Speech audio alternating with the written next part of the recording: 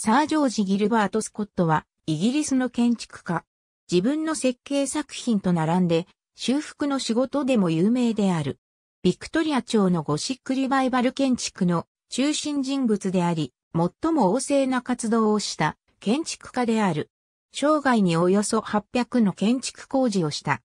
スコットは1811年7月13日、バッキンガムシャーのゴーコットに住む地方、英国国教会の聖職者の4番目の子として生まれた。ロンドンのジェームズ・エドムストン建築事務所で古典主義建築の修行を勉強を始めた。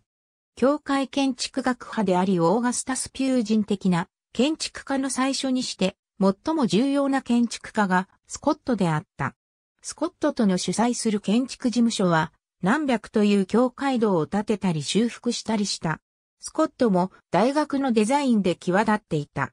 彼はピュージンや教会建築学協会のやり方に従って、オックスフォード大学のエクセターカレッジのチャペルに中期、戦闘様式を採用した。1863年にスコットは、ケンブリッジ大学のセントジョンズカレッジに大きなチャペルを増築した。スコットによるロンドンのセントパンクラス駅及びミッドランドホテルは1864年から1868年にかけて建設された巨大な停車場屋上の前面に立つ。スコットの他の重要な作品にはリーズ診療所、グラスゴー大学がある。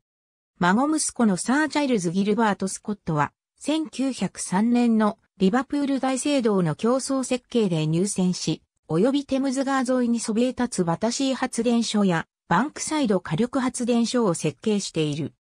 https www.cguardian.com コメンツフリー2011ジュール08サージョージ・ギルバート・スコット・ショートトン・パンクレス。ありがとうございます。